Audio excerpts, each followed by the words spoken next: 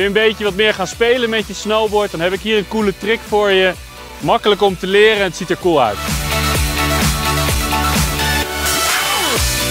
Wat hebben we hiervoor nodig? Zijn eigenlijk maar twee bewegingen. Belangrijk is, we hebben een rotatie nodig, of in deze richting, of in deze richting. Natuurlijk afhankelijk waar je naartoe wilt draaien.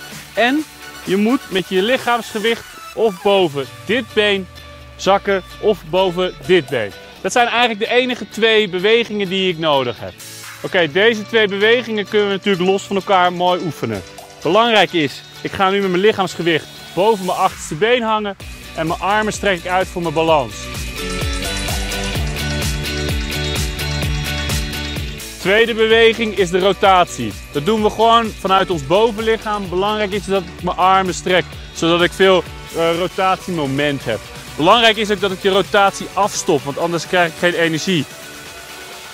Goed, zorg ervoor dat je nu beide bewegingen samenvoegt en dan ziet het er ongeveer zo uit.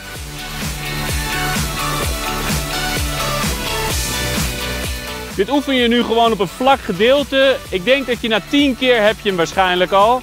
Gewoon lekker door blijven oefenen en als je hem dan checkt, dan ga je naar een vlakke piste en dan probeer je dat gewoon eens een keer tijdens het snowboarden. Veel succes ermee!